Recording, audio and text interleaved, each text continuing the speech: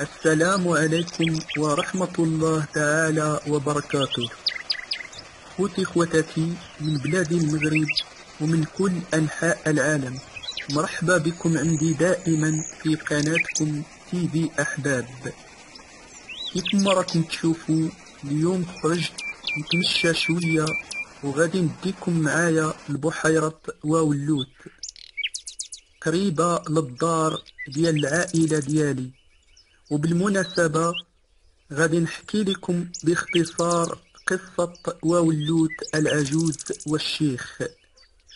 هي قصة من قصص الزمن الجميل وكانوا يحكيوها لنا جدودنا ووالدنا المهم تابعوني وبقاو معايا حتى نهاية الفيديو. عين لالا وولوت هذا المنبع المائي موجود هنا من زمان. وكون هاد البركة اللي الطول ديالها فيه 30 متر والعرض ديالها فيه 15 متر. في فصل الشتاء كتفيض ويكتر فيها الماء بزاف.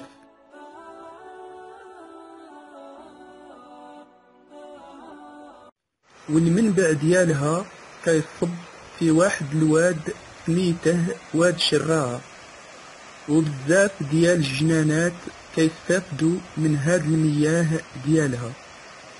هاد البحيرة بعيدة على مدينة أبيركان تقريبا بثلاثة كيلومتر.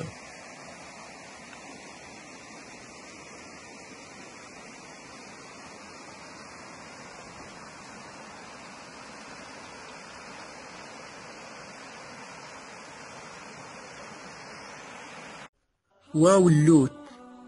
هذا اسم لعين مائية. المهم الاسم ديالها يرتبط بواحد الحكاية شعبية كانوا جدودنا يحكيو لينا عليها. هاد الحكاية هي واحد العجوز اسمها واو اللوت. كانت تسكن في واحد الخيمة في وسط الحي وفي نفس الأرض ديال هاد العين قبل ما يتفجر الماء ديالها. هاد العجوز كانت عندها واحد المعزة وكانت تعيش من اللبن ديالها وكانت عندها واحد الكلبة بالجراو ديالها. هاد العجوز مسكينة كبرت في السن وضعاف ليها البصر ديالها يعني نقص ليها النظر ديالها. وفي يوم من الأيام قبل ما تغرب الشمس جا للحي واحد الشيخ عنده اللحية بيضاء والوجه دياله فيه النور وكان رافد بيديه واحد العصا ديك العصا كانت تساعده في الرحلة دياله. المهم جا للخيمة ديال هاد العجوز وطلب منها ضيافة الله. رحبت بيه وبيتاته عندها ليلة كاملة. طبخت ليه الطعام بداك الشعير اللي عندها. وسقات الطعام باللبن ديال المعزة وزيناته باللحم. المهم الشيخ كلا الطعام حتى شبع. ومن بعد طلب من هاد العجوج باش تقرب منه. دار يديه على عينيها وفي ديك اللحظة رجع ليها البصر ديالها. يعني كانت عمياء ومنين دار يديه على عينيها؟ صافي في الحين بقات تشوف. وكذلك دار يديه في الخنشة خاوية ديال الدقيق وتعمرت. المهم هو وصاها باش ما تخبر حتى واحد من السكان ديال القرية باللي غادي يكمل الرحلة دياله في نهار غدا في الصباح. المهم هو ضرب الوتاد ديال الخيمة في المكان اللي غادي الكلبة تنقل فيه الجراو ديالها. العجوز فوتت الليلة وهي فرحانة بزاف.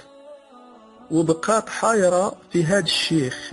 المهم نهار غدا في الصبح الشيخ غادر الخيمة بعد ما وعد العجوز بالخير إلى دارت بالوصية دياله العجوز خبرت السكان ديال القرية وبزاف منهم صدقوها. راقبوا الكلبة ديالها حتى شافوها تنقل جراوها واحد مور واحد بعيد وكانت تتحطهم تحت السدرة. المهم أصحاب الحي بقاو ينقلوا الخيام ديالهم حتى خلاو. وفي نفس اليوم صبت الشتا بزاف. وفي ديك اللحظة بانت هاد البحيرة ومن داك الزمان سموها عين لالا وولوت أغلبية الناس تكلموا على قصة العجوز والشيخ وقالوا بأن الشيخ هو سيدي عبد القادر الجيلاني. وقالوا باللي جاء من مدينة بغداد من بلد العراق. ومنين فات بهذا المكان وشاف الناس عايشين في الفقر والجوع بسبب الجفاف في ديك الوقيتة الله كرمهم بديك البحيرة وفتح عليهم أبواب الرزق. صحاب هاد القرية اعترفوا بالبركة ديال هاد الشيخ. وفي داك الزمان الأهل ديال القرية بناو ليه مقام وبقاو يزوروه. وسماو هاد المقام سيدي عبد القادر الجيلاني. وكانوا كل عام يديروا فيه الصدقة. ومع الأيام بقاو الناس اللي مرض واللي مغبونين يزوروا هاد المقام. وكانوا يغسلوا بالماء ديال هاد العين قبل شروق الشمس. المهم هذه هي الحكاية الشعبية اللي ارتبطت بعين وولوت.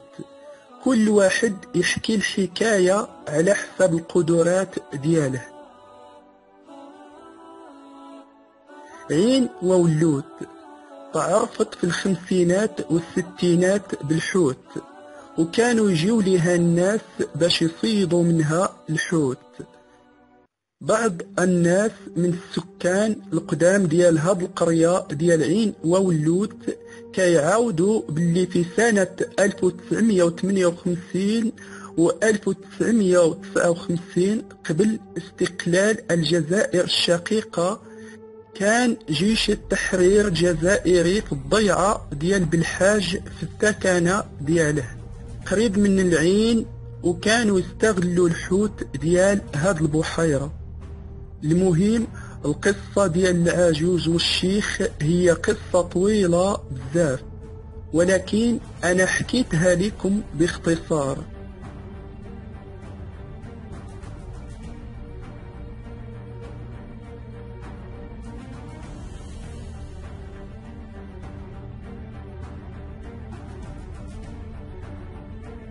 نتمنى تعجبكم القصة ونتمنى تدعموني وتشجعوني ونتمنى تبارطاجيو الفيديو مع الأصدقاء ديالكم ومع أحبابكم في جميع مواقع التواصل الاجتماعي. وبارك الله فيكم وشكرا لكم وألف تحية والسلام لكم. ورمضان كريم وكل عام وأنتم بألف خير والأمة العربية والإسلامية بألف خير.